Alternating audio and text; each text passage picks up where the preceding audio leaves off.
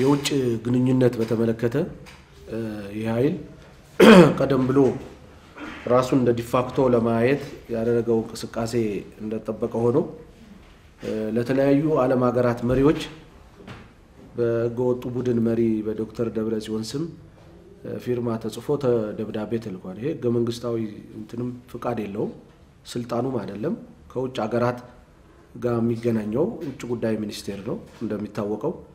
ከዚህ አንጻር ለትራምፕ ጨምሮ ለ UN Security Council፣ ለአፍሪካ ህብረት እና ለሌሎች አምባሳደሮች እና ሌሎች international community ደብዳቤ አዘጋጅተው የጻፉበትም ራሱ አንዱ የ sovereignty የሆነውን የኢትዮጵያን መንግስት የሉዓላ ሉዓላዊነትን የሚገዳደር ስራ ለመስራት እንዳሰቡት ለማከናወን ይህንን የሚያስፈጽም አዲስ አበባ ላይ አንድ የቀድሞ ምክትል ርዕሰ መስተዳድር አዲስ ዓለም ባሌማ በኩል ከአፍሪካ ህብረት አምባሳደሮች፣ መሪዎች ከተለያዩ diplomatic community የተለያዩ mission ያላቸው አካላት ከውጭና ከውስጥ አገር ጸረ ሰላም የሚባሉ ኃይሎች ኦነግ ሸኔን ጨምሮ ግንኙነት እዚህ በአዲስ አበባ እያደረገ on daily base ሪፖርቱን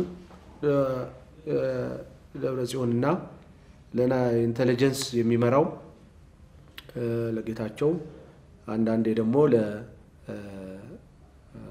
ለስዩም መስፍን ሪፖርት እንደሚያቀርብ ማስረጃዎች አረጋግጠናል።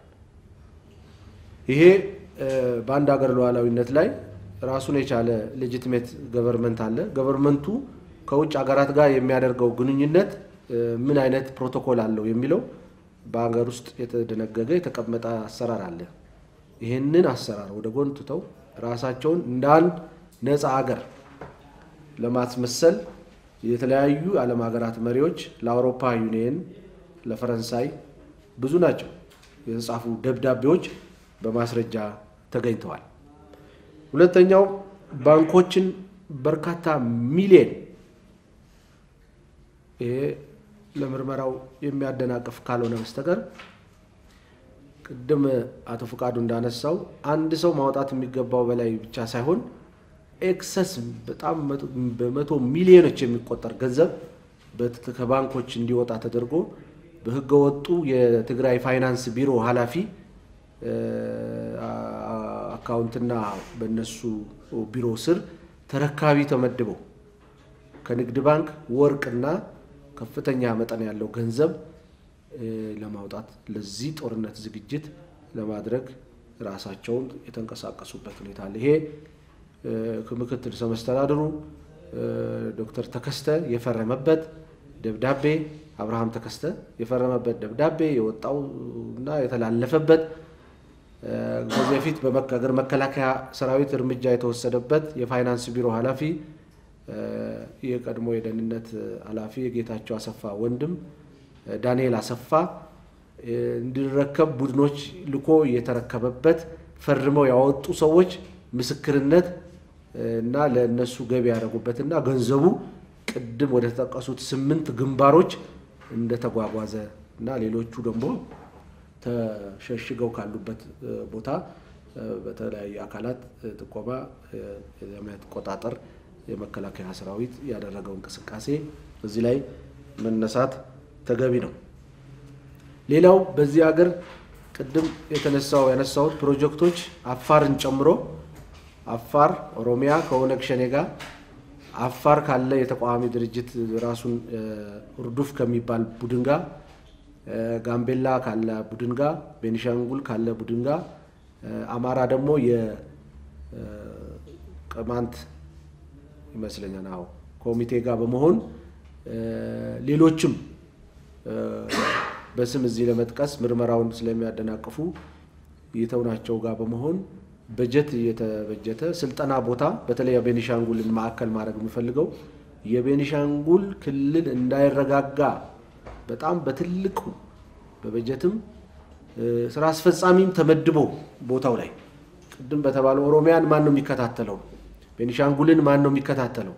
ጋምቤላን ማን ነው የሚከታተለው? ብሎ ተከፋፍለው ቁልፍ የጁንታ አመራሮች ሲያስፈጽሙት የነበረውን የጭፍጨፋ ድራማ በአምስት የማሰልጠኛ ቦታዎች በርካታ አሰልጣኞች ትግራይ ድረስ ወስደው አሰልጥነው አስታጥቀው መልሰው በቦታው ላይ ያሰማሩባቸው ይሄ document በሆነ መንገድ ተነስቷል። ይሄ ወደ ዘጠና page የሚሆን document አሁን ማንበብ ስለማይቻል ነው እንጂ እዚህ ውስጥ ያለ ተአምርና ጉድ በዚች ሀገር ውስጥ ይሄ ጁንታ ቡድን ሀገሪቷን ወዴት ሊወስዳት እንዳሰበ የሚያሳይ ዝርዝር የዝግጅት ምዕራፍ የትግበራ ምዕራፍና ማጠቃለያው ደግሞ በሶስት ወር መጨረሻ አራት ኪሎ ለመግባት ከውጭ ሀገራትም ያለው ግንኙነት በተለይ ዲያስፖራ አክራሪ ዲያስፖራ የ TPLF በከፍተኛ ብር በኤፈርት በሚባሉ ድርጅቶች ስፖንሰር የተደረገ lobby group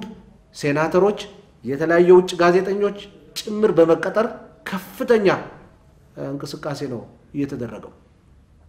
የተቀናጀ ነው ስራው፣ የተናጠል ስራ አይደለም። because ባለፉት ሁለት ዓመት ይህ ኃይል ከስልጣን ከተወገደበትና ራሱን ወደ ትግራይ ሰብስቦ ከተቀመጠባት ጊዜ ጀምሮ ሲሰራ የነበረው ሕግና ስርዓቱን ሀገረ መንግስቱን በማፍረስ ወደ እንደዚህ አይነት crisis ለማምጣት የታሰበ ስራ እንደነበረ እዛ ላይ more highlight ለመጨመር ነው። ሁለተኛ ማይካድራ ቅድም አቶ ፍቃዱ በዝርዝር አብራርቶታል።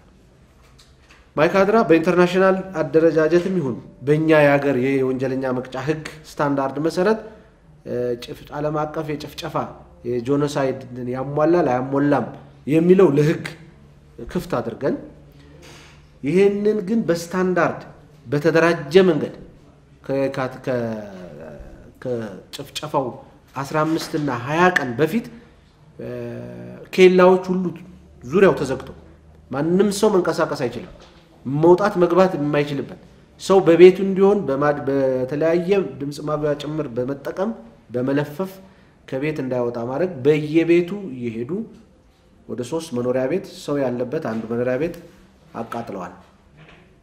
ሰው ይሄ በምርመራ ተረጋግጧል። ሰው አስክሬንም ከቤት ከተቃጠለው መኖሪያ ቤት ወጥቷል።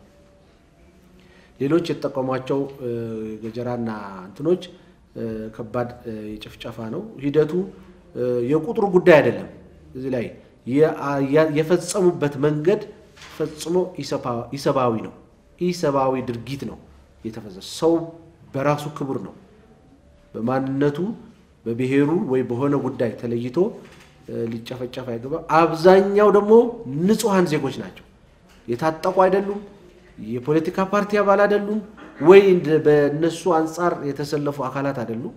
ንጹህ የቀን ስራ የሚሰሩ እዛ አካባቢ ያለ የሰሊጥና የጥጥ እርሻ ላይ የሚሰማሩ ምስኪን ኢትዮጵያውያን ዜጎች ከአማራ ክልል በአብዛኛው የሄዱ የተወሰኑ ደግሞ ከሌላም አካባቢ የተቀላቀሉ ለእንጀራ የሄዱ ሰዎች ጭምር የተወሰኑ ደግሞ እዛ አካባቢ መረጃ ይሰጣሉ ብለው የጠረጠሯቸውን ቆየት ያሉ የኖሩ ሰዎችም ጨምረው ጭፍጨፋ አድርጓል። ሂደቱ በቦታውም በተገኝተን ባየነው ልክ ለሰው ልጅ የሚከብድ የሚዘገንን ስራ ነው የተፈጸመው።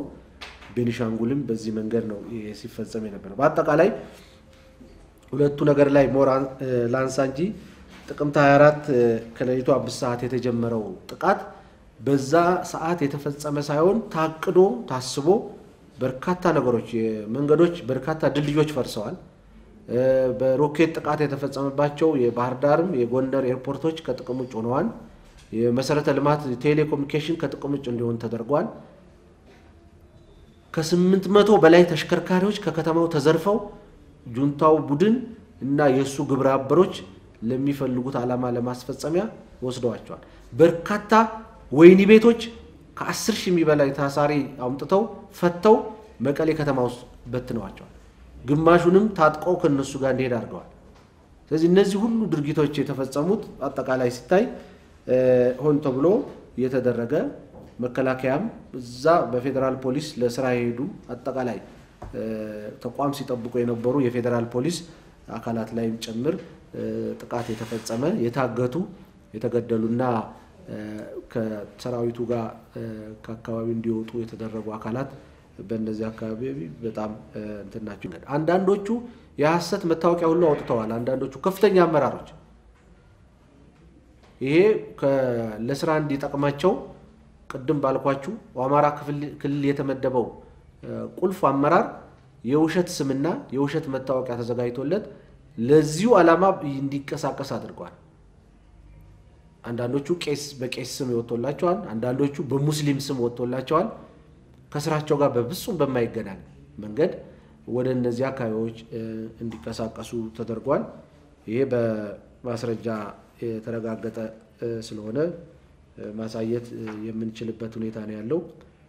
ስለዚህ በጣም የተቀናጀ የተደራጀ በቁልፍ የ TPLF ጁንታ አመራር የተመራ አጠቃላይ ሀገሪቷን ወዳልተፈለገ ነገር የሚወስድ ነው።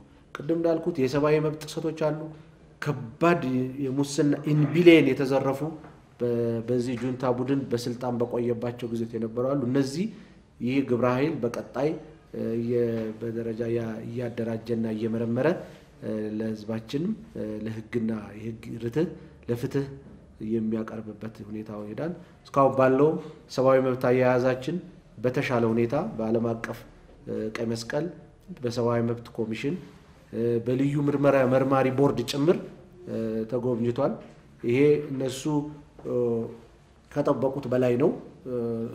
መንግስታችን ህግና ፍትህ የበላይነት ይረጋገጣል። በተግባር እነዚህን ሰዎች ባያያዝም የበቀልና የሌላ ጉዳይ ሳይሆን ለፍትህ በማቅረብ ባጠፉት ልክ ተጠያቂ የማድረግና የህግ የበላይነት ለማረጋገጥ ከመቼውም ጊዜ በላይ እየሰራ